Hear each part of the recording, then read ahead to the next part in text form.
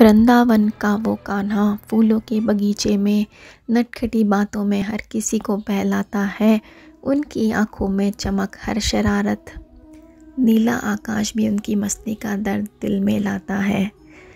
गाँव के घरों में माखन चुराते और वो कन्हैया दोस्तों के साथ कर फिरते हैं रात दिन।